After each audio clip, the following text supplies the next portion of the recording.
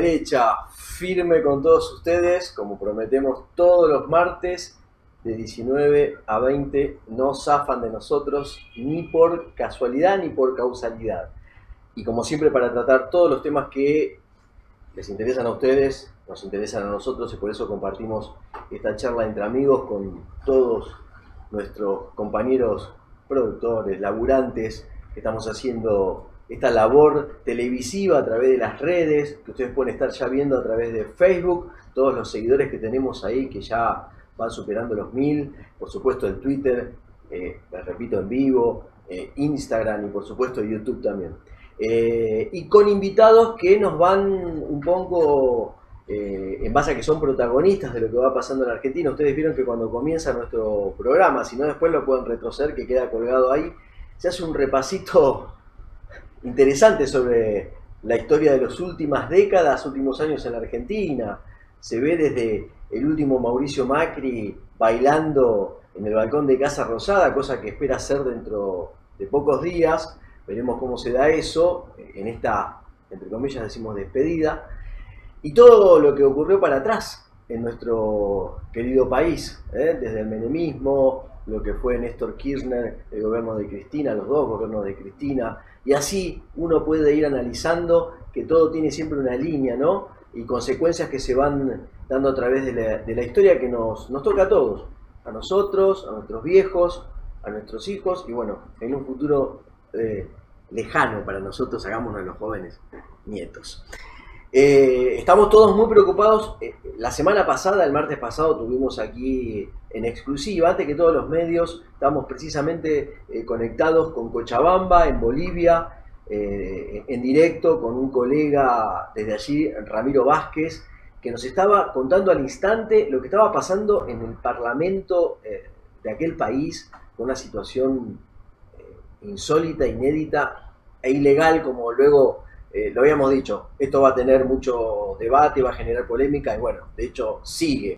A través, además de muertes, una matanza que se está dando con esta autoproclamación de esta señora Janine Áñez, senadora, con rasgos muy particulares, ella y todo lo que está detrás de ella, con un Evo Morales que continúa en México, que recibió hasta el ofrecimiento del presidente electo Alberto Fernández para venir a exiliarse en Argentina. Él quiere volver a su país para pacificar. Los videos que nos están llegando y todos pueden ver a través de estos aparatos son realmente eh, dolorosos, tristes, generan bronca. Uno se pregunta cómo puede estar pasando todo esto acá, a, kilómetros de nuestro país, porque pese a todas las cosas que nos han ocurrido en los últimos años, eh, no podemos descontar la dictadura del 76 al 83, pero después para acá, salvo esas eh, excepciones que también se pueden haber evitado, esas muertes que no se tendrían que haber dado ni en el 2001, ni casos puntuales como el de Maldonado y demás, eh, no se han dado en la Argentina y vamos a seguir bregando para que eso no pase. Pero sí está pasando en Bolivia, eh, se habla de más de 20 muertos, suponemos todos que las muertes pueden ser muchas más, asesinatos, asesinatos, no muertes. Y también no podemos dejar de lado lo que está pasando en Chile. Por eso hoy la conexión vamos a tratar de hacerla eh, con ambos países y por supuesto tenemos siempre a alguien eh, acá en el piso invitado que bueno, hoy amablemente se ha venido después de este feriado largo que hemos tenido en la Argentina en el Día de la Soberanía, que se corrió un poquito para adelante en la jornada de ayer. Bueno, Alejandra Stut, que precisamente es eh, la titular de la seccional Buenos Aires de la Asociación Bancaria. Recuerdan que la semana pasada también estaba en el, estudio sorprendiéndose con nosotros, Eduardo Berrospe, por lo que estaba contándonos nuestro colega eh, Ramiro desde Cochabamba, lo que estaba pasando con esa autoproclamación de Janine Áñez.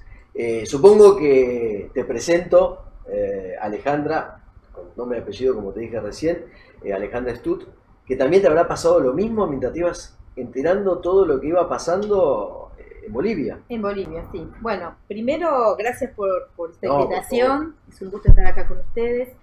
Eh, te diría que sí, obviamente a uno le sorprende lo que está pasando en Bolivia, pero nosotros estamos también asociados al internacional que es UNI y eh, estos procesos que hoy sorprenden, nosotros, no te digo que lo avisorábamos, pero mm. eh, particularmente el de Chile, porque Bolivia no está integrado a UNI, eh, lo veníamos viendo y sobre todo, y particularmente con el trabajo de las redes de mujeres, que eh, hace rato vienen en una discusión eh, de reclamo de derechos, de salud, de educación.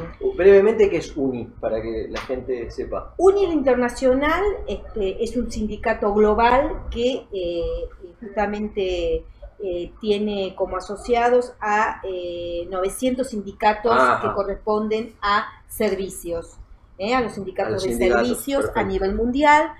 UNI está a su vez estructurada en, continentalmente continentes América, Europa, Asia, Pacífico y, África. ¿Y solamente Chile no, no participa de esta región? No, de la Bolivia, Bolivia. Ah, Bolivia. Bolivia, Bolivia. Por eso decía que en Chile nosotros estamos claramente, de hecho me estoy yendo el día jueves eh, con una delegación de la Oficina Regional de América, con el presidente de América que es Héctor Raer, con el presidente mundial que es Rubén Cortina que pertenece al Sindicato de Comercio, y con el eh, secretario regional eh, Marcio Monzanes, que, eh, bueno, obviamente este, vamos a hacer una misión de delegación de apoyo y de recorrida con todos los sindicatos que están afiliados ahí y con la realidad lamentable que está viviendo el pueblo chileno, de la misma magnitud que está viviendo el pueblo boliviano y si uno quiere hacer un recuento, vos recién decías, Juan Pablo, que antes de empezar el programa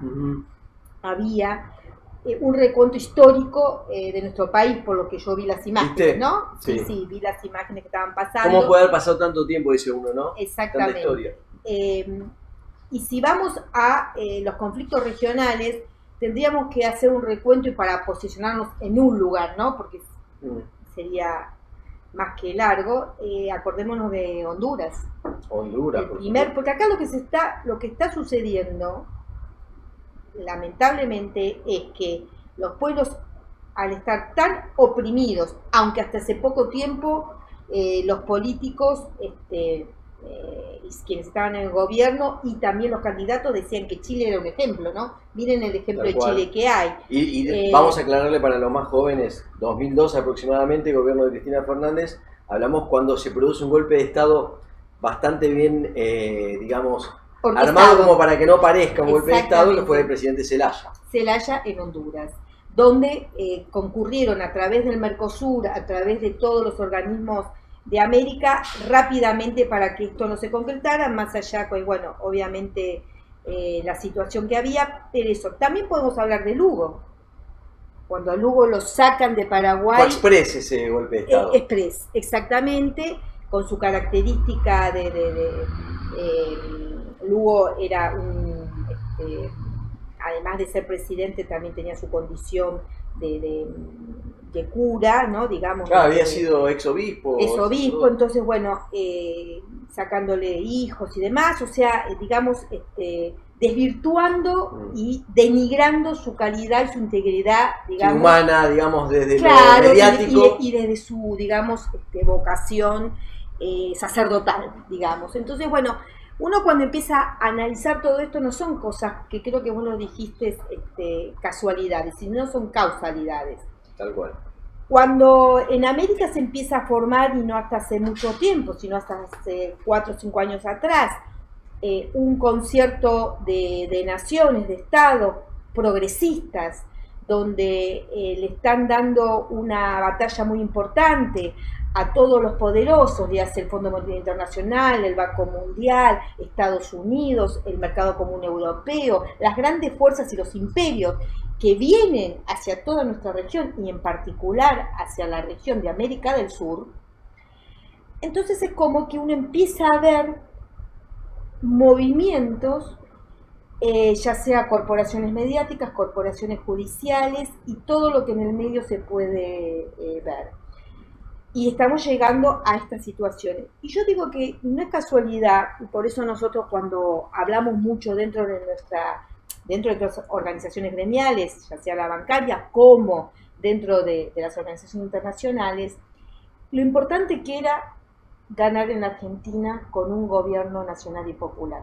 nos lo pedían los propios compañeros. De Brasil ni que hablar el golpe que le dieron a Dilma, porque a Dilma le dieron un golpe, un golpe institucional. También, sí, sí, sí. sí. Eh, y donde, bueno, por eso digo, vos fijate todos Con el famoso lawfare, como no se nos olvidemos de Ecuador. Ecuador pasa lo mismo. En Ecuador hubo un levantamiento del pueblo y también, este, digamos, en, porque convengamos que Ecuador gana una fórmula progresista que viene de la mano de Correa y que después se da vuelta.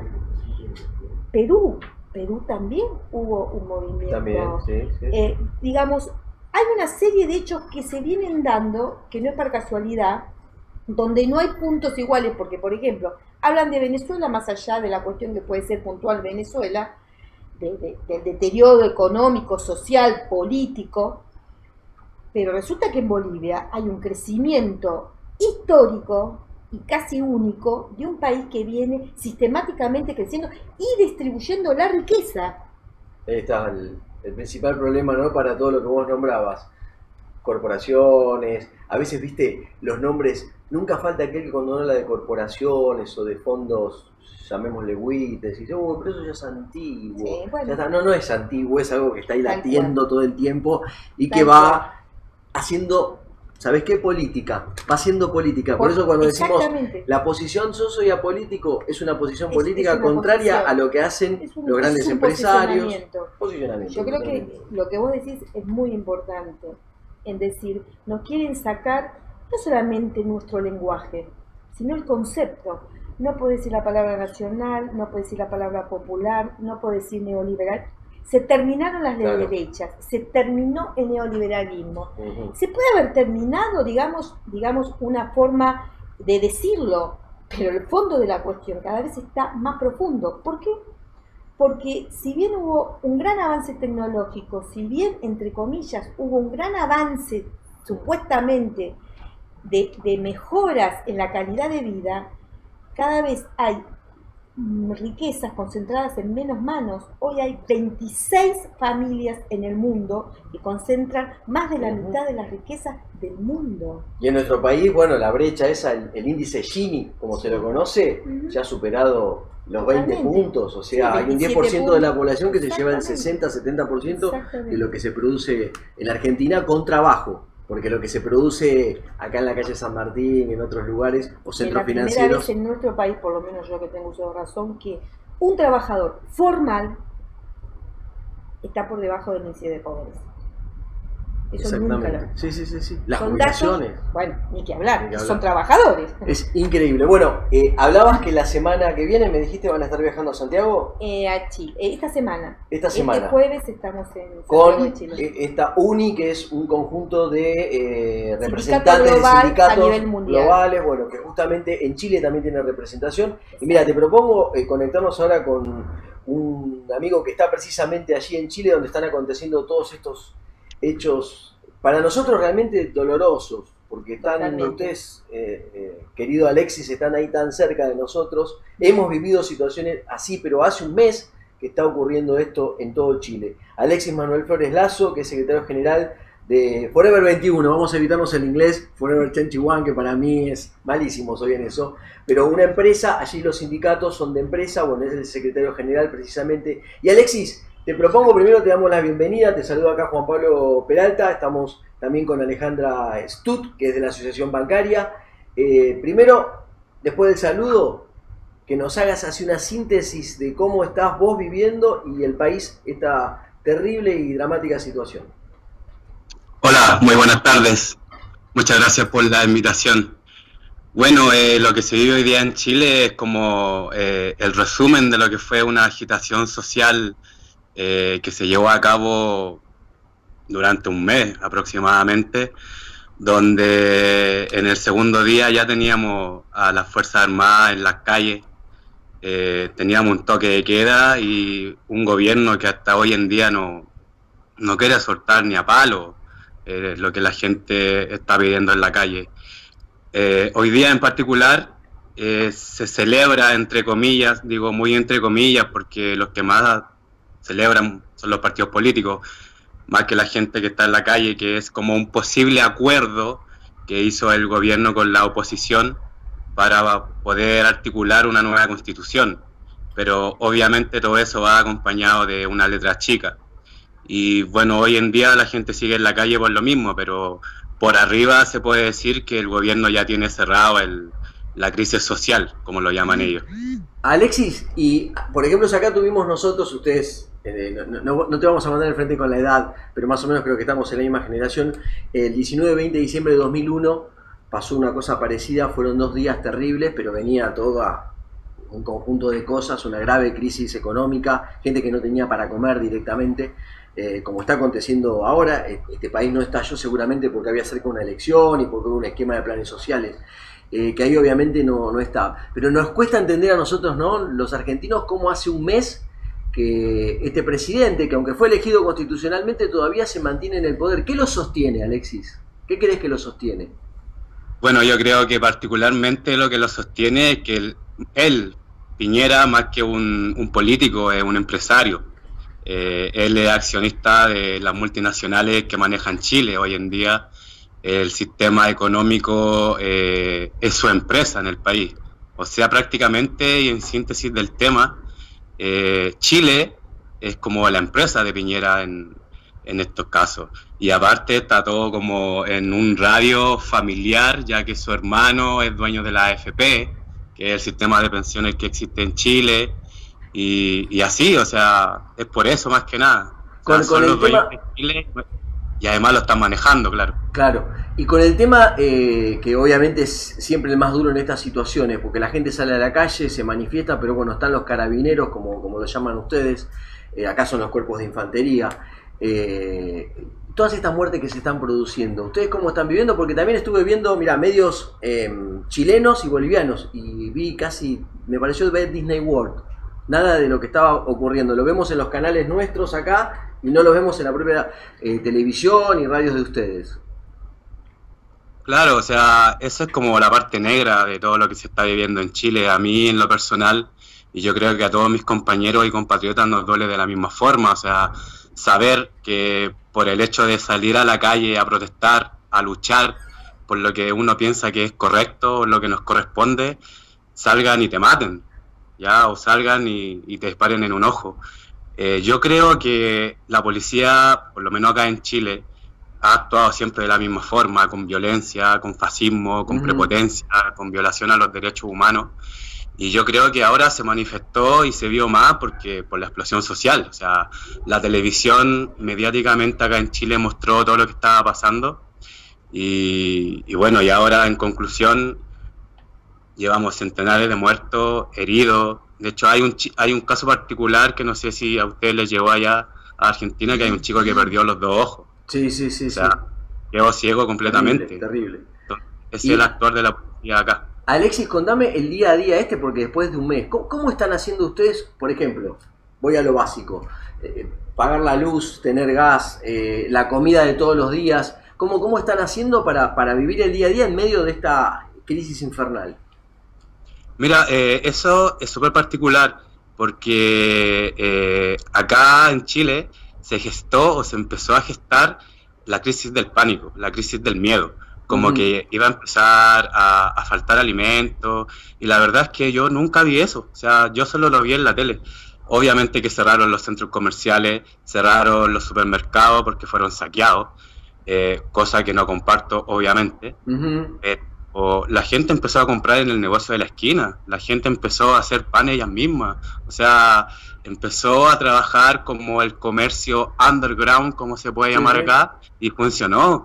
Hasta el día de hoy, o sea, los centros comerciales que antiguamente cerraban a las 10, ahora cierran a las 8 y la gente va al mall igual, o sea, quedó comprobado que el sistema puede seguir funcionando y no solamente el neoliberal, o sea, por lo menos hacer un balance en eso pero el día a día ha estado tranquilo, si bien eh, los supermercados no están en su 100% abiertos, como te conté anteriormente, existe un, montón de opciones que nunca han estado cerradas.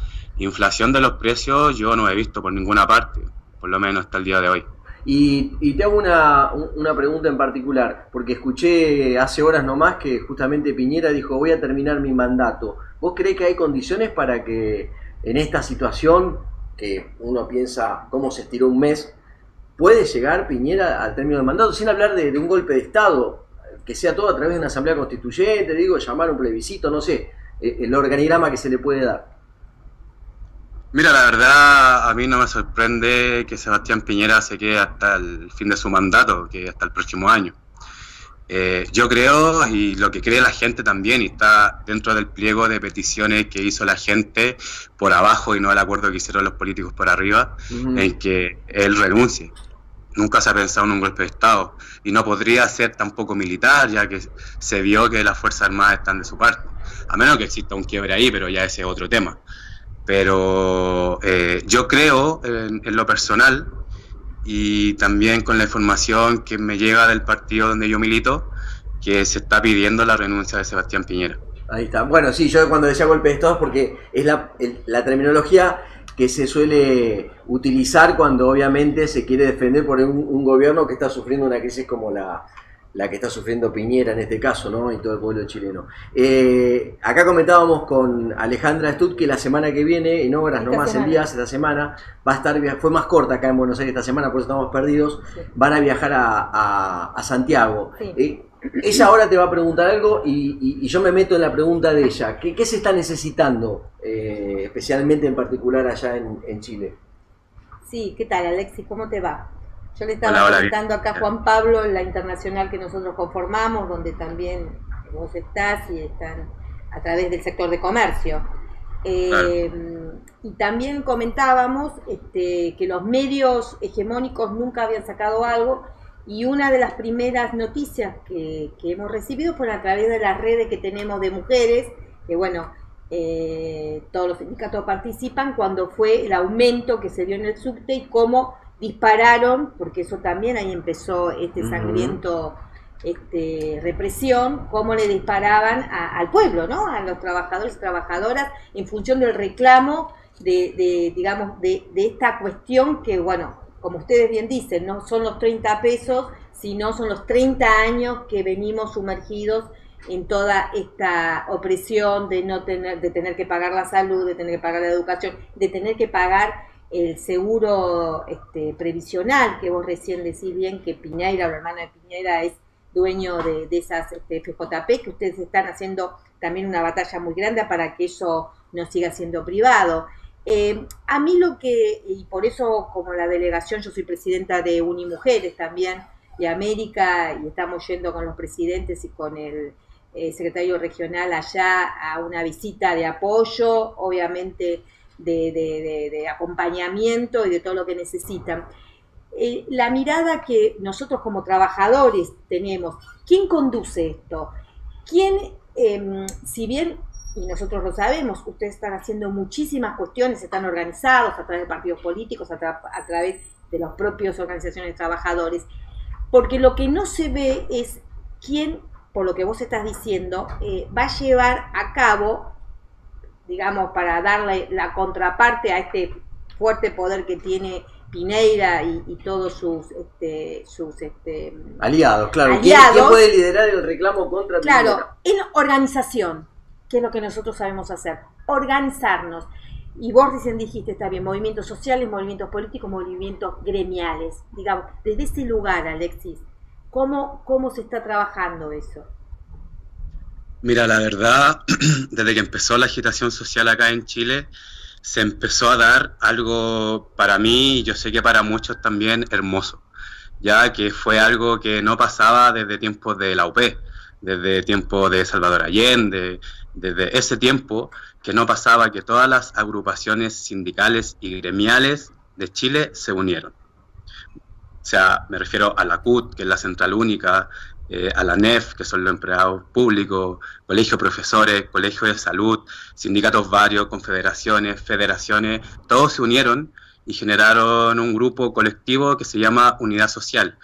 Y ellos eh, en parte han sido como la voz del pueblo, porque la gente desde el principio dijo que no querían a partidos políticos dentro de, esta lucha, eh, cosa que no pasó hubieron muchos políticos y muchos partidos que se abanderaron con esto y que yo creo que está bien, o sea, es parte de la lucha. Obviamente sin los créditos que, la gente no quiere que se den, pero que sí sean parte. Entonces, ahora lo que se firmó por arriba fue un acuerdo para generar una nueva constitución hoja en blanco y que sea parte eh, dirigentes sociales o el pueblo y parte político, en este caso serían senadores y diputados. Eh, ¿Quiénes van a ser los que nos van a representar a nosotros como pueblo? No lo sé, porque recién las votaciones sobre eso ya vendrían en abril del próximo año. Asumo y especulo que podrían ser dirigentes de las mismas agrupaciones sindicales. Por ejemplo, la CUT, por ejemplo, la NEF.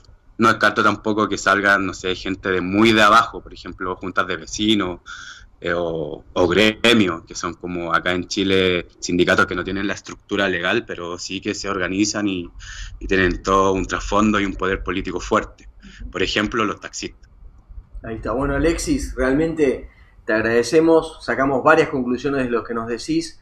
Eh, esperemos que se puedan organizar, eh, más allá de lo que es lo que se ve en las calles, como planteaba recién Alejandra también, hacer un reclamo conjunto, organizarse y, poder, este, no, me gusta esa palabra ordenar, porque muchas veces se mezcla. Es organización. Es organización, organización, como para poder evitar que siga habiendo muertes, desigualdades, y esta crisis social que están viviendo ustedes. Así que bueno, hermanos queridos, va un abrazo de todos nosotros los argentinos para ustedes y, te agradecemos. Eh, es Alexis Manuel Flores Lazo, secretario general de Forever 21, esta empresa de ropa que muchos conocen. Te agradecemos y, vamos a estar, este es nuestro último programa de este año, pero esperemos que ya para cuando hablemos la próxima esté la cosa más resuelta y que nos cuentes y nos des buenas noticias, Alexis. Bueno, esperamos lo mismo de acá, hermano. Y bueno, un abrazo gigante para todos ustedes y arriba a los que luchan. Arriba. Nos vemos. Ahí está. Bueno, ahí está. Estuvimos conectados, como prometimos entonces, con, Chile para saber un poco, viste, las conclusiones ¿no? que uno tiene que sacar en, una breve conversación. Total, pero fueron donde, un, colega, hermano chileno que no es periodista, pero es un, ciudadano que está viviendo el día a día, te dice, y yo creo que eh, Piñera va a terminar su mandato, se ha firmado un acuerdo por arriba del pueblo para hacer un cambio constitucional que seguramente no va a ser lo que espera el pueblo. Y por supuesto lo que tiene que ver con todos los reclamos que se están haciendo, porque como vos decías, 30 años de desigualdades no se arreglan en 5 minutos ni con un cambio de constitución. Eh, sí con un cambio de conciencia. Exactamente, exactamente. Es lo que está por debajo de lo que después se tiene que escribir. Si no, es todo este, hecha la ley, hecha las trampas, ¿no? Bueno, vamos a ir a Bolivia en segundos, pero antes para aprovecharte, Alejandra, porque yo vengo de, aquí de Casa Rosada y vos ves los medios y están con la transición y la transición, la palabra más usada creo en, las últimas 48 este, horas. De la transición realmente hay muy poco para decir porque el propio Macri en un videito que anduvo circulando por ahí de mis colegas dijo, por ahora nada. Y fue una reunión de gabinete de esas que para tomar té, café, no, no se sabe bien qué, es lo que se habla. Y creo que es hacer tiempo hasta que llegue el 10 de diciembre. Pero saliendo un poco de la broma o, del tono de un poco de sorna, hay que darle un poco de humor a esto, sino... O de cinismo. Mientras tanto, sí, sigue, sigue lo que hablamos el otro día con, con Eduardo Berrospe, con otros invitados más, siguen eh, aumentando las cosas, eh, seguimos viendo que nuestro sueldo no nos alcanza. Eh, va a haber más aumentos en estos 20 días que quedan. Así que obviamente está claro que hubo algo que yo lo tengo que decir porque yo soy periodista, no, no, soy ni de un partido ni del otro. Lo que sí se acordó fue en esa primera reunión que hubo entre Alberto Fernández. Eh, y esa fue la parte de la transición que se dio después quedó en eso. Bueno, lo de Cepo cambiaron que era necesario. El otro día eh, Eduardo nos decía Barrospe que tendría que haber sido mucho antes. Mucho antes porque se están dilapidando las reservas de central. El contacto que se está haciendo permanente con el, presidente del central justamente para que no se sigan desangrando las reservas. Y después eh, cosas más banales que tienen que ver con esta cuestión de si el, bastón de mando va a ser en el Congreso o va a ser en, Casa Rosada. Y esta discúlpeme que voy a usar el término, esta estupidez de los actos, si va a ser el acto de Alberto contra el Alberto, el acto de Mauricio, y todas esas pavadas. Temas de, de forma y no Que nos proponen discutir muchas veces en los medios, para eso estamos, estos medios, no quiero usar la palabra alternativo porque las redes sociales ya no son alternativas, inclusive marcan agenda y tendencias permanentemente. Eh, ¿cómo, ¿Cómo crees que llegamos vos al 10 de diciembre? Mira, yo no creo que este gobierno cambie eh, sus, obviamente su posición ideológica ni todo lo que venía haciendo, porque claramente eh, apenas se confirmó que perdió Macri, porque hasta último momento pensaban que tenían alguna chance de ganar, eh, lo primero que hizo volver a aumentar este, el combustible y además pagar 24 mil millones de pesos a las compañías energéticas que se las llevaron todas. Entonces, ¿qué le puedes pedir a, un presidente que, bueno, claramente este, se va este, como consecuencia de, de, su mandato, de su ejercicio, de empobrecimiento total de la mayoría de un pueblo y además sin ningún tipo digamos, de miramiento, porque, por ejemplo, algo que me parece que es muy importante, que ellos se dicen que son tan republicanos e institucionales, el Congreso este, votó y aprobó los planes este, eh, sociales y todos los planes para levantar este nivel de pobreza y no hicieron nada, no tocaron una sola partida. Cuando nosotros tenemos miles y miles de compatriotas que todos los días duermen en la calle y que no tienen un plato de comida, familias, hombres, mujeres, chicos. Te digo, alguien que no tiene mínimamente una responsabilidad, estamos hablando del primer mandatario, la responsabilidad mínima de mirar lo que le está haciendo al pueblo que a él lo eligió hasta el último día de su mandato, ¿qué le podés pedir? Yo no creo que vaya a modificar, uno quisiera que el tiempo huele para llegar al 10 de diciembre, y no es porque el 10 de diciembre va a haber una varita mágica y se va a cambiar todo este, mágicamente, muy por el contrario, pero por lo menos hay medidas que Alberto Fernández ya la está diciendo, ya tiene un equipo donde están evaluando todos los temas sociales, está hablando de tener acuerdos con empresarios, con gremialistas, tema deuda. Con, el tema deuda, con el Fondo Monetario Internacional, que ya van a tener una reunión, eh, con este, todas las cuestiones que tienen que ver de ver cómo a partir del 10 de diciembre empieza a tener una distribución más equitativa y por lo menos digna para los que vivimos en nuestro país. Entonces me parece que la mirada hoy, por lo menos uno que está en este campo social, gremial, es en ese sentido. Yo la verdad no me importa, no me interesa absolutamente, lamentablemente que te sigue quedando días para seguir, digamos, rebajando las condiciones de vida laborales, sociales de los argentinos y las argentinas. Eh, para mí Macri, como dice la canción, ya fue lamentablemente, no es que uno, más allá que nunca lo voté, ni, ni soy cerca su, su mirada ideológica, porque nunca este, se la entendí por otra parte. Pero más allá de eso, yo creo que eh, las energías las tenemos que potenciar en todos estos acuerdos que va a venir con este nuevo gobierno, con esta unidad real que se dio, porque convengamos que esta unidad no es que todos están de acuerdo, por eso tiene más valor la unidad. Claro, obviamente, obviamente. Eh, me parece que en eso, esta unidad regional, implica que hay más representación. mirada de Fernández en lo que le pasa a Bolivia, en lo que le pasa a Chile, en una elección que le pido a mis hermanos uruguayos que voten mirando también en la región, un saludo a mis hermanas y hermanos rioplatenses, porque así nosotros lo llamamos, y si este mensaje llega hasta allá, vamos que se puede ganar también en Uruguay, y cuando digo ganar, ganar pensando en el pueblo, no en las personas. Un, aporte que hago antes, y cuando los chicos me digan vamos a Bolivia con Ramiro Vázquez, eh, una cosa que habría que, yo hablo a mis propios colegas y a mí mismo, evitemos, aunque sea hasta que asuma el, el nuevo gobierno y veamos cómo se van sucediendo las cosas, la interna de Cambiemos la Verdad, gastar eh, litros y litros de tinto, campo. para decir si la reta, si Vidal, sinceramente ah. eh, no le interesa a nadie. Sí le interesa a ellos, pero que lo traten en su comité o como ellos le llamen. Nosotros tenemos que tratar de sacar este país de la ruina en la que está. Ustedes acuérdense, eh, todos son más jóvenes que yo, tiro flores. Eh, pero cuando, cuando pasó, cuando pasó, si no le pife el año en el 73, yo nací en el 71, pero recuerdo leyendo y lo que me han contado, ¿te acordás que se da el proceso también de vuelta de Perón a la Argentina y ya había un golpe de Estado en diversos países de Latinoamérica? Teníamos la, manzana rodeada. Allende. Por eso, eh, aunque no sean dictaduras, dictaduras militares, que representaban digamos, casi los mismos intereses. Eh, no queremos que en Argentina suceda lo mismo en esta coyuntura de ahora.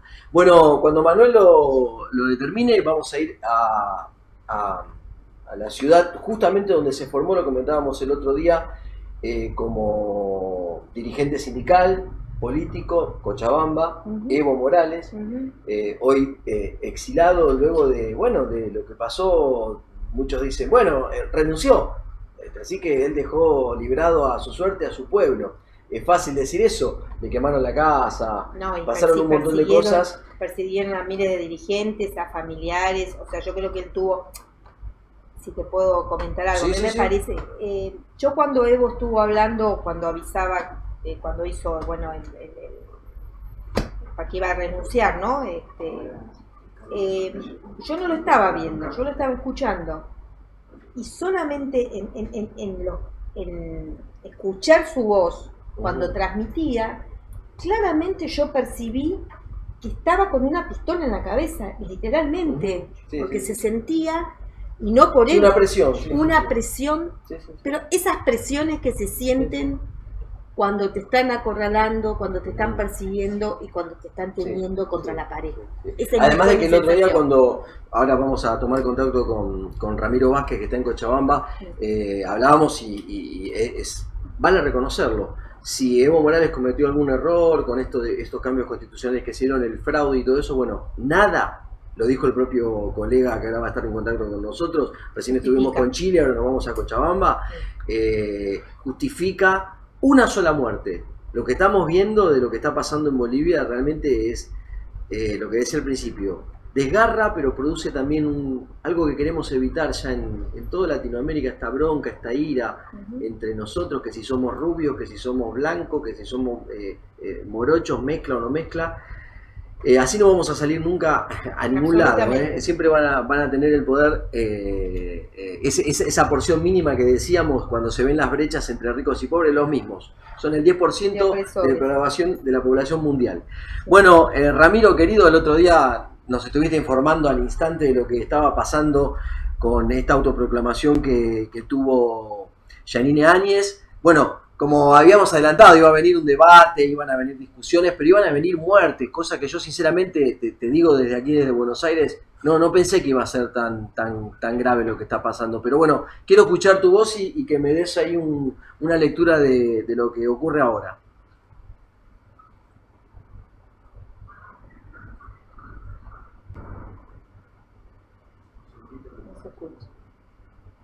Bueno, ahí, no, no, lo, no, te estamos escuchando todavía, Ramiro, pero en segundo vamos a ver si, si arreglamos el tema del, audio. Eh, esperarnos un segundito.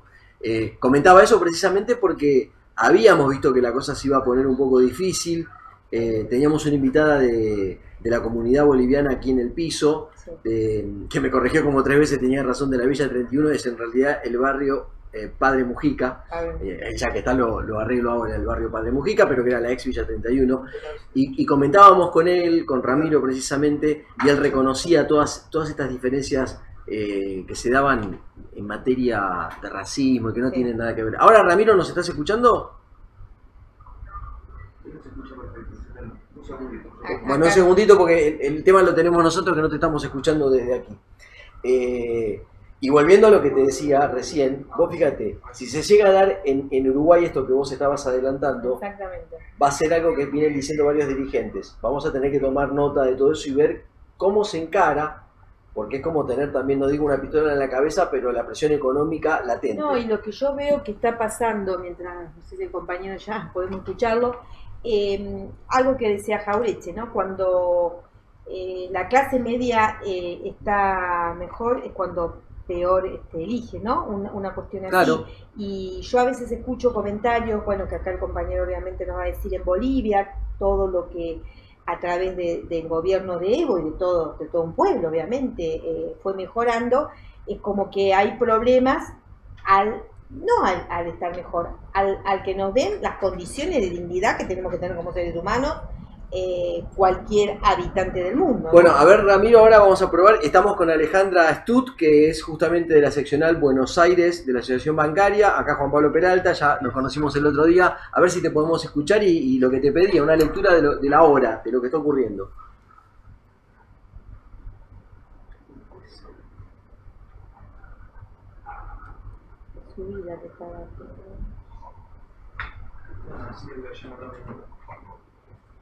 Ahí vamos a hacer, vamos a hacer otro intento de, llamarte, de llamarte, Ramiro. Estamos teniendo problemas, eh, en broma decimos en televisión con el satélite. Claro. Eh, pero bueno, se, está dando. Sabes que y, y, nos escuchan de todos lados, ¿no? Sí, obviamente, nos están escuchando en todos lados. En Facebook, no, lo olviden, nos pueden sintonizar ahora en vivo a través de Twitter, también a través de lo que tiene que ver con, Instagram. Y por supuesto que el programa después queda colgado en las redes y lo pueden rever para analizarlo. De hecho, el del martes pasado, te digo, estábamos justamente en conexión con... con Paso hablando con Bolivia, nosotros acompañamos la primera marcha eh, de los... Este, compatriotas bolivianos que se hizo bueno la que se hizo aquí en el consulado. Claro en el consulado donde hubo conflicto con la policía esa sí hubo conflicto con la policía eh, bueno. Infiltrados ahí hubo algo como siempre ocurre pero bueno pero la fuerza que le están poniendo la comunidad boliviana acá en la Argentina denunciando diciendo los desaparecidos juntando los datos mm. hay obviamente apoyos de las diferentes este, eh, organizaciones de derechos humanos en nuestro país eh, porque nosotros no padecimos, obviamente, con 30.000 desaparecidos sabemos lo que es los secuestros, las torturas, las desapariciones.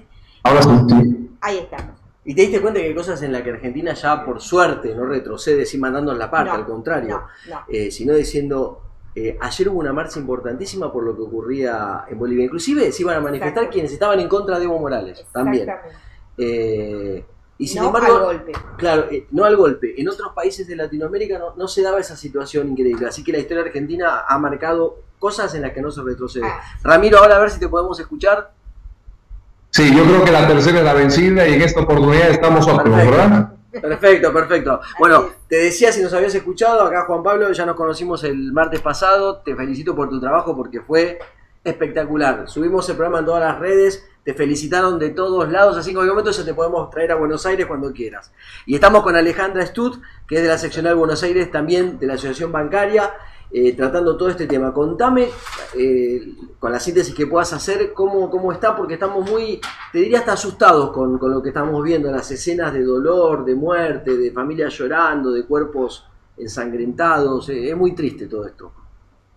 Así es, lo que hace pocas horas nada más sucedió en Bolivia y es muy lamentable, hay tres nuevos fallecidos en Sencanta, que es un municipio cercano al Alto y en La Paz, esto por los enfrentamientos que se han dado entre eh, al movimiento al socialismo y también la milicia. Hay más de 22 heridos y también muchos detenidos. Esto fue a raíz de querer transportar el combustible que escasea en La Paz, trasladarlo de eh, el Alto a La Paz para suministrar a aquellos que necesitan este, este insumo. Diferentes movilizaciones que se están dando, el país está cercado, no hay el transporte que se requiere al interior, hay conflicto y hoy y mañana se están jugando cartas muy importantes en la Asamblea Legislativa Plurinacional porque se determinará dos temas muy importantes, yo lo habíamos mencionado y que nos parece muy importante reforzarlo. El primero, que es la pacificación del país,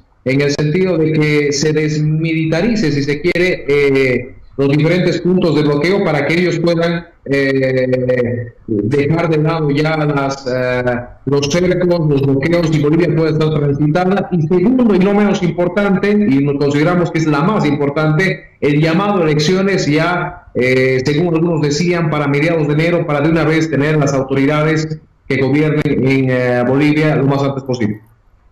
Y sabes que hubo algo que nos tocó a todos también vos sos periodista, eh, estuvimos lamentablemente eh, viendo diferentes canales de aquí de, Buenos Aires y de todo el país, cómo colegas nuestros tuvieron que volverse, eh, protegidos por la embajada, ocultos, inclusive otros colegas que trabajan para agencias internacionales como Teresa Boa, Al Jazeera, que fue arrojada con gas pimienta, toda una situación de violencia que, realmente no, nosotros sinceramente no, no, podemos concebir.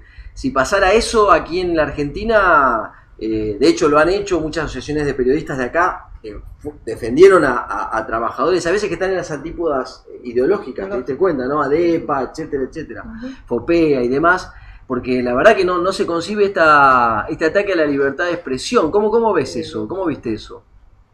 Mira, eh, yo tengo una posición bastante firme como periodista y creo que el respeto es lo más importante eh, al momento de poder cubrir una nota informativa y creo que la violencia no debe ser generada ni de una ni de otra parte. Me, duele mucho que nuestros hermanos argentinos eh, se los trate de esa manera. me duele mucho que se pueda ver este tipo de, de actividades, de accionares eh, creo que el colega también utilizó términos que no eran los apropiados y por eso la reacción, tú notas el clima. Hay gente que está pasando por la calle y siente y escucha algo que no le parece y reacciona.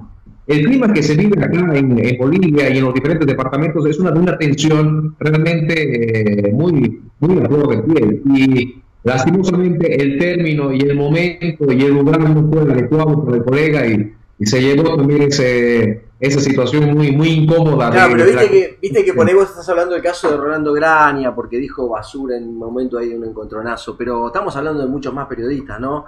Eh, vos, Alejandra, lo, viste, eh, fue una, situación complicada. O sea, imagínate si un periodista se lo trata así y después ver en, en, féretros así improvisados gente el tema quién estaba tratando a los periodistas, no, no, o sea, uno tiene que también entender el conflicto que está pasando el pueblo boliviano, ¿no? Que no sí, que vuelve una chispa y... No, no, no, es menor y que a veces nos pasa a nosotros también, este, cuando eh, el periodismo viene a hacer una nota y uno está en un contexto donde está llorando sus muertos, donde lo están este, viendo los desaparecidos, donde se están secuestrando este, hombres, mujeres, chicos, eh, eh, es complicado, pero yo creo que, yo lo digo como, como digamos, televidente o como eh, lo que uno vio es el gobierno que mandó a reprimir y a que no quieran que salgan las noticias. Lo mismo nos pasaba, nos pasó en Chile, por eso ustedes... Sí, la ministra de, Comunicación diciendo lo de que los periodistas eran actos de sedición, que ahí ya es el gobierno, el gobierno usurpador, eh, dicho por ustedes este, claramente y por lo que pasó, este eh, diciendo eso eh, de, los periodistas argentinos que estaban ahí, que tuvieron que venirse absolutamente todos. O sea, los que tienen una posición, digamos, de medios ideológica más de derecha, progresista o de izquierda. O sea, todos se tuvieron que volver ante una decisión del gobierno, por lo menos esa es la interpretación. Sí, sí, y una cosa que agrego a esto... Eh, querido Ramiro, es que estuve viendo, lo comentábamos recién con otro amigo chileno que estábamos hablando de Santiago, estuve viendo varios canales de Chile y varios canales de Bolivia, cinco o seis canales de tu país.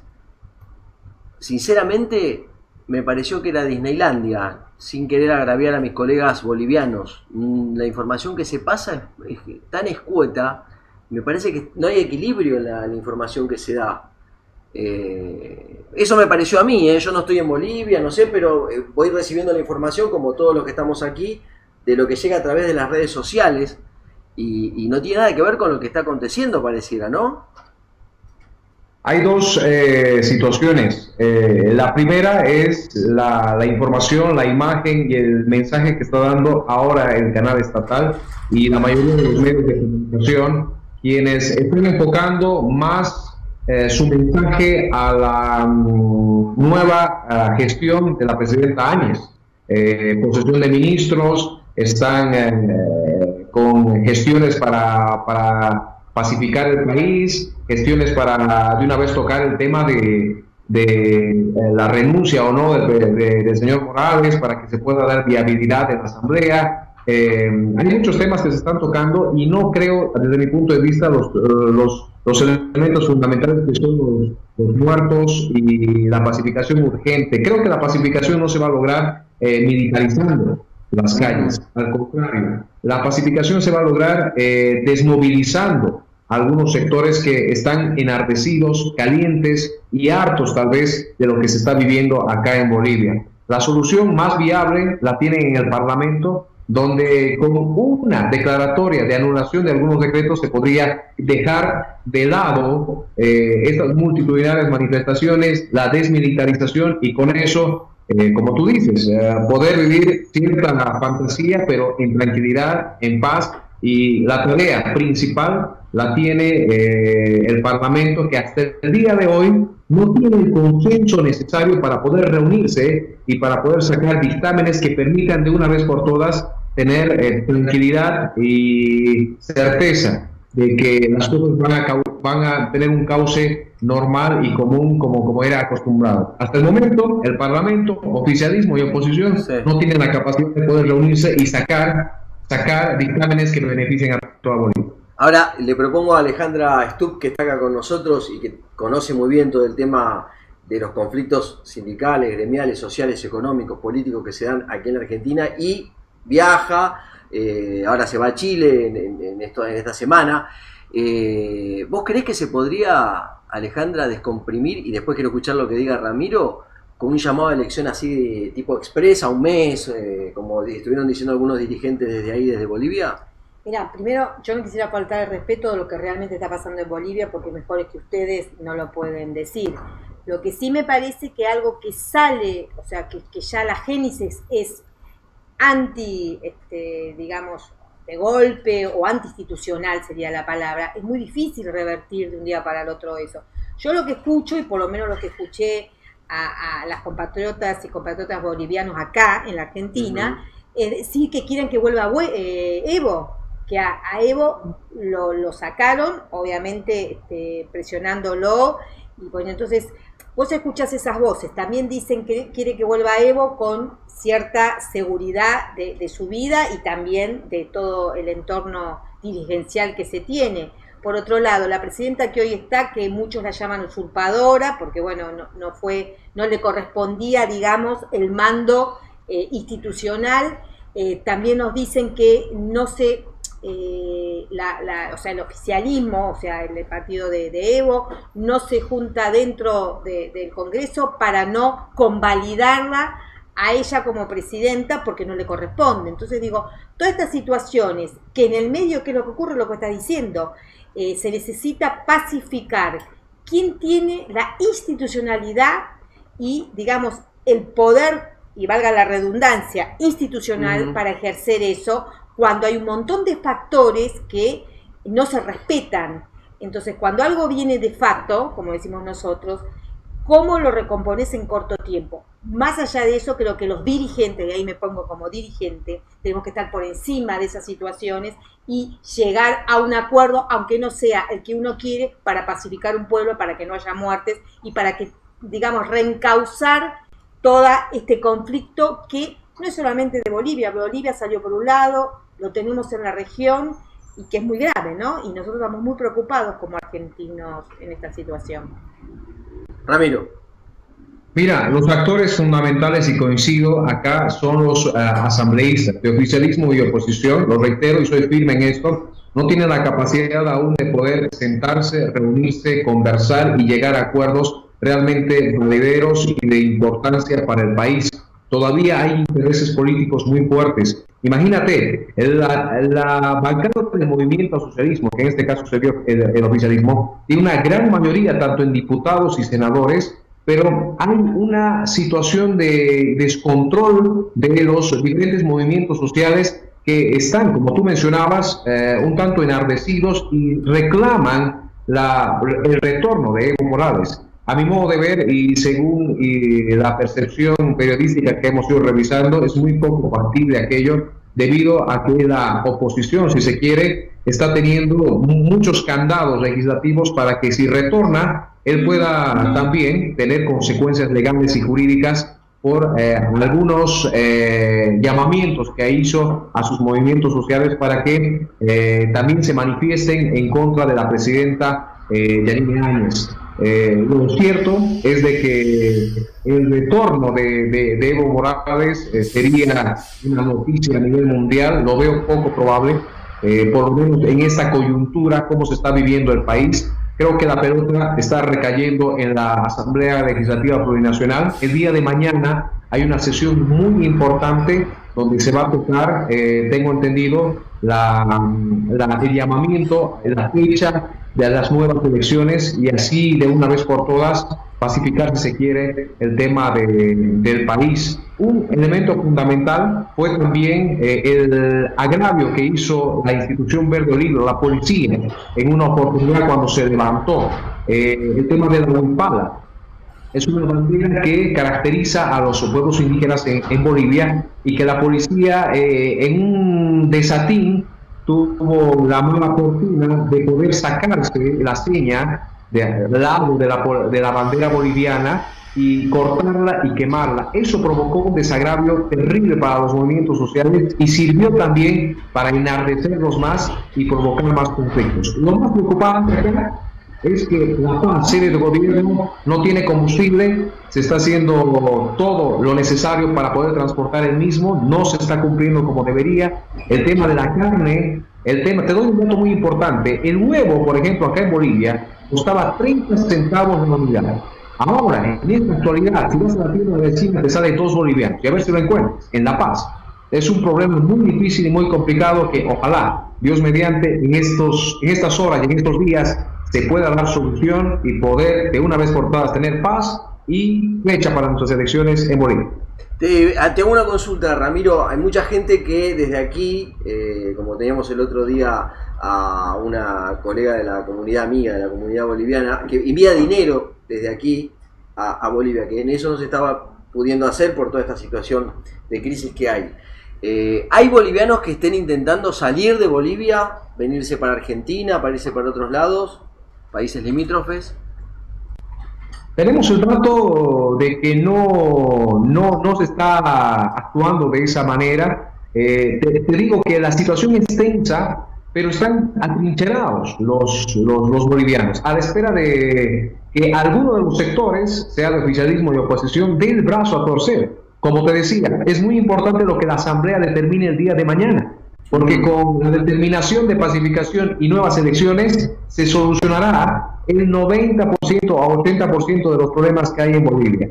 Eh, todos están atrincherados, todos, por lo menos en las ciudades más importantes, están haciendo su vida relativamente normal, si se quiere, donde existen mayores conflictos es en las fronteras departamentales. Te hablo de Cochabamba, La Paz, La Paz, eh, La Paz Cochabamba, eh, lugares donde eh, se tiene que tener la transitabilidad, se tiene que transportar la comida. Eh, hay testimonios lamentables donde eh, fruteros, por ejemplo, tienen que desechar, o quienes que son productores, quienes cultivan hortalizas, tienen que desechar su, su, su producción porque no pueden llegar hasta el lugar de comercialización y eso es muy lamentable porque ellos se ven perjudicados y también quienes consumen esos insumos diariamente.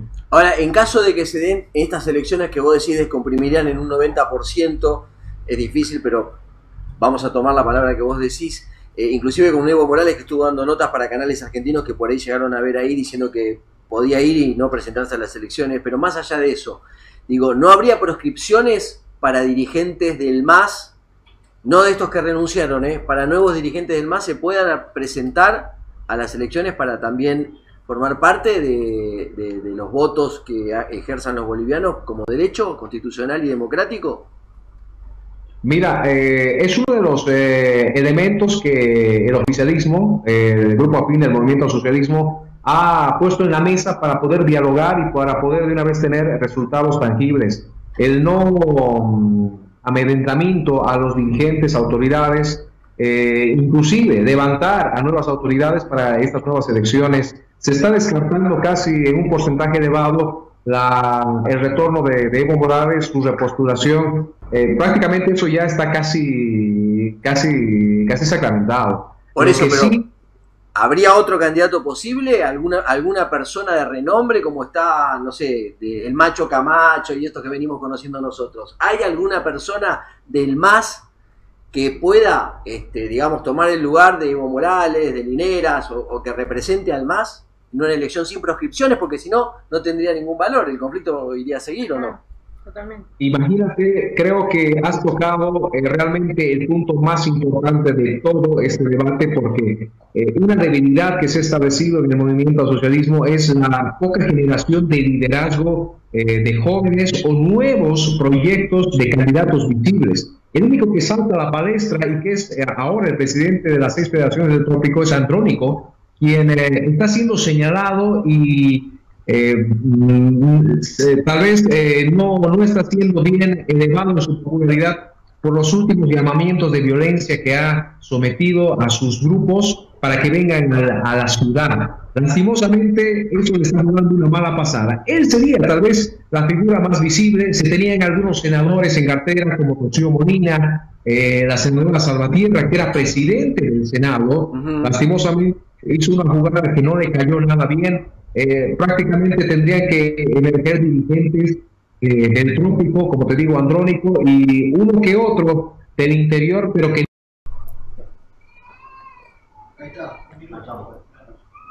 Volvimos entonces.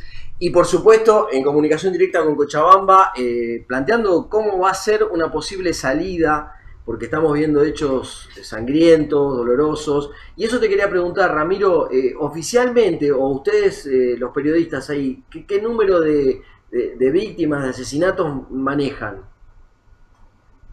Mira, oficialmente los datos que se tienen, hasta el pasado viernes eran nueve confirmados, porque en el último acto de, de Sacaba fallecieron eh, cuatro personas. Sumados los tres, de hoy serían doce los que oficialmente estarían eh, eh, fallecidos a consecuencia de estas movilizaciones. Dato que nos alarma mucho. Y dato no menor es lo que el Ministerio de Gobierno ha estado lanzando, que Incluso se había hablado de autoatentados, que nos parece un tema bastante delicado porque las balas, en teoría, o los instrumentos, eh, los fusiles, no habrían sido los que habitualmente utiliza la policía o los militares. Es un tema para investigar. No, obviamente, porque los autoatentados es, es muy difícil de, digerir. Eh, además, también escuchamos otras cosas, eh, estos ataques de helicópteros, que también hay que investigar, aclaro. Ah, pero eh, es todo muy, muy, muy complejo eso, porque la verdad que, mirá que hemos escuchado cosas, eh, pero que la gente salga a, matar a sus propios, a sus propios pares eh, en esta situación, no se lo cree nadie, lamentablemente. Digo, para quien quiera imponer esa idea. Después, el periodismo, nosotros tenemos que tratar de hacer las investigaciones serias y la justicia de determinar quiénes son los culpables en estas situaciones terroríficas, te digo, porque las imágenes que vos las habrás visto, acá se han conformado grupos de gente que está eh, mandando constantemente videos y nosotros chequeamos que no sean este, basura que corre, que circula por las redes sociales, de otros conflictos bélicos en otros lados, que son de Bolivia, realmente eh, no se las puede tomar como autoatentados porque uno se da cuenta que son comunidades, que están eh, conjuntas. Tenemos compañeros que en el medio de todo este desastre que están viviendo en las zonas más peligrosas de Bolivia están transmitiendo en vivo con sus teléfonos celulares. No es que te estamos hablando así por lo que circula solamente en las redes y que nos vemos en los canales de acá. Por eso me llamó mucho la atención lo que estuve viendo en los canales bolivianos. Pero obviamente esto no es con vos ni contigo, es, es una cosa que te planteo de lo que, de lo que nosotros vemos de acá. Lamentablemente estamos lejos, nos gustaría estar ahí para sacar conclusiones propias, pero eh, es muy difícil realmente asumir o tomar en cuenta que podría ser cierto que eh, hermanos bolivianos se estén, estén matando. estén matando entre ellos porque, no sé, ¿para qué? ¿Con qué finalidad?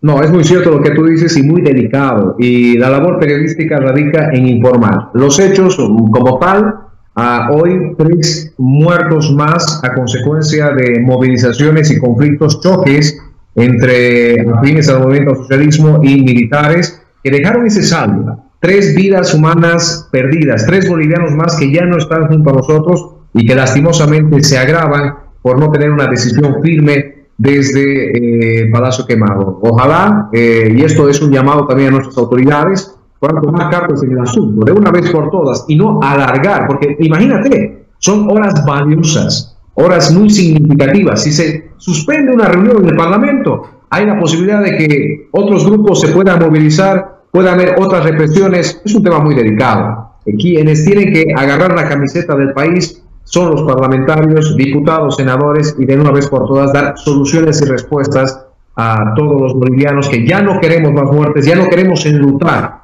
al país porque estamos muy dolidos. Imagínate, ya casi son más de, casi llegamos al mes de conflicto, donde tenemos eh, que sopesar con bloqueos, donde tenemos que sopesar ahora con desabastecimiento y tercero, de no tener eh, fecha establecida para unas próximas elecciones. Unos meses realmente eh, que han dejado huella en el pueblo boliviano y esperemos que a la brevedad nuevamente podamos restablecer nuestras relaciones eh, con el mundo y principalmente a nivel, a nivel interno con los departamentos, así de gobierno, nuestras autoridades, que es lo que más queremos. Bueno, Ramiro, realmente el agradecimiento, como el otro día que nos estuviste, como decía, informando al instante con todo lo que, lo que ocurría allí en tu, en tu país, que también te digo, es el nuestro. Somos todos acá en Latinoamérica, hermanos. Eh, este es el último programa del año de, izquierda a derecha. Esperemos que, como le dijimos a nuestro hermano también chileno que se comunicó la primera media hora con nosotros, la próxima comunicación que tengamos sea para que nos des buenas noticias, para que todo esto cese, las muertes entre, entre compatriotas, el odio, toda esta, esta cosa que yo creo que también es un negocio para unos pocos, porque sirve de mucho esto de la grieta, el odio, la pelea discursiva y la que se da en, los campos con, estas muertes. Así que el agradecimiento, cuando quieras venir a Buenos Aires, tenés los brazos abiertos de todo el equipo de izquierda a derecha. Bueno, tomar tu palabra, o sea, nos vamos a dar una vuelta por Buenos Aires y ojalá nos, eh, nos podamos reunir para poder compartir buenas noticias. Eh, desde ya, hoy fue un tema, un día muy, muy complejo por estos tres decesos recientes eh, y nuestra solidaridad y nuestro saludo para nuestros hermanos bolivianos, principalmente en Seicata y en La Paz, quienes lastimosamente perdieron la vida, nuestras condolencias para las familias y lo reitero, quienes deben asumir este compromiso son las autoridades a la brevedad posible porque las horas son muy, pero muy valiosas. Y para cerrar, un fuerte abrazo para ti, para todo ese maravilloso equipo, para los invitados. Y bueno, en todo caso, también un saludo para la extensa comunidad boliviana en Argentina. Felices fiestas, un fuerte abrazo y el próximo contacto estoy seguro de que va a ser con muy buenas noticias. Un abrazo para todos. Abrazo, Ramiro. Bueno, desde Cochabamba entonces estuvimos eh, con Alexis, desde Chile, desde Santiago, secretario general de Forever 21 eh, un sindicato de empresa de, ropa que muchos conocen, y con nuestro querido Ramiro Vázquez desde Cochabamba contándonos todo lo que acontece allí. Acá en el piso, hoy vino para cerrar este ciclo del año 2019, nada más y nada menos que Alejandra Stuck, eh, de la seccional Buenos Aires, de la Asociación Bancaria, de la Bancaria, que qué trabajo Alejandra, que les espera. Sí, como secretaria general de, la sección de Buenos Aires, eh, bastante, y con acompañando al compañero Palazzo como secretario nacional también, pero fundamentalmente hoy como ciudadanos, ¿no? Este, dimos un paso muy importante, eh, dimos un paso como trabajadores para, para apoyar este cambio que necesitábamos mm. dentro de la política eh, de un gobierno y cuando uno mira alrededor, este, con más razón eh, nos sentimos que fuimos por el camino que teníamos que ir, este, porque más allá del saludo del compañero de, Chile y el saludo del compañero de Bolivia, aquí estamos hablando de vidas. Por supuesto. Entonces, cuando no hay no se respeta la institucionalidad, no se respetan los gobiernos democráticos, cuando los golpes ya no alcanzaron solamente a través de determinados candidatos que te pueden gustar más o menos, pero que de hecho van en un proceso constitucional, estamos eh, en, grave, una grave situación y como vos bien dijiste, lo que le pasa a los Bolivia nos pasa a todos, porque es un, un límite muy chiquitito, muy chiquitito que, que se puede cruzar y que puede llegar a todos lados y para eso tenemos que estar preparados sobre todo, como vos dijiste. Hay algo que los argentinos aprendimos no queremos más un golpe de Estado y no queremos más que eh, militares o, quien sea tomen este, el, derecho popular de elegir quienes nos van a gobernar. Bueno, y para cerrar, te viste que en las campañas, inclusive cuando fue el armado previo,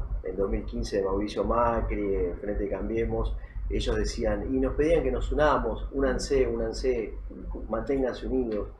Con el Frente de Todos pasó lo mismo. Ahora después de la campaña, después de las elecciones, yo escucho a los argentinos diciendo, mantengámonos unidos a partir de ahora, a partir del 10 de diciembre. Ahí va a ser más importante, mucho más importante que una campaña, y más con estos frentes que se han abierto en toda Latinoamérica, que son peligrosísimos y como decías vos, se pone en juego la vida de la gente. Ya no son negocios, curros, como decimos acá si nos escuchan los españoles, eh, entenderán trabajo. Nosotros, curro, le decimos a meter la mano en la lata.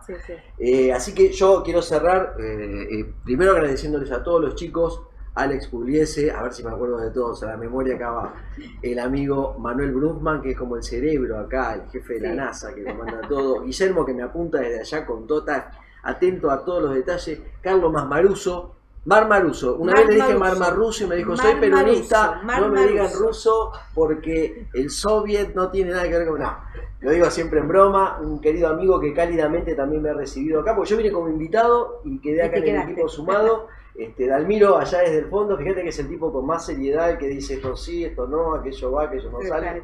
Pero no, no da mucha libertad de acción.